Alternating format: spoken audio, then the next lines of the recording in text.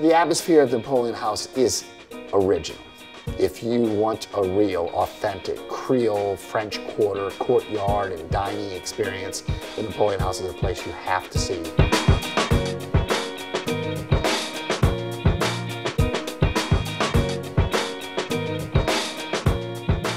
The Napoleon House is unique because it's been a restaurant for well over 100 years. Of course, for the first 102 years, it was owned by the Impastato family.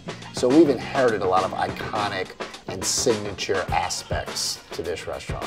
If you come to New Orleans and you miss the experience of the Napoleon House, you're almost missing New Orleans. It's a place that is so magical when you walk in the door.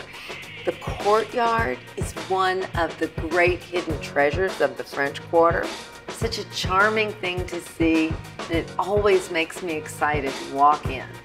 The way to approach the menu here, when you're dealing with iconic dishes and, and food that's beloved, the last thing you want to do is make any fundamental changes. So we try to elevate those recipes, perhaps by sourcing the best quality product, but you want to present these dishes that have been around for in the better part of a century as authentically as possible.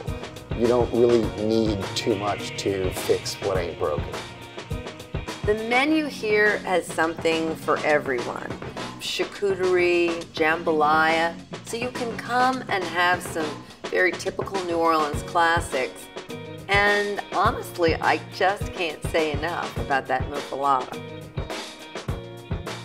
I find New Orleans to be a culinary hub that's unsurpassed.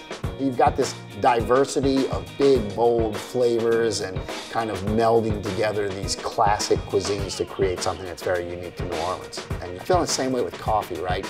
So I like strong black coffee. And I enjoy it because it incorporates those big, bold flavors that we're so used to in our cuisine, and that's how I like to drink coffee too. New Orleans bold is the color, the flavor.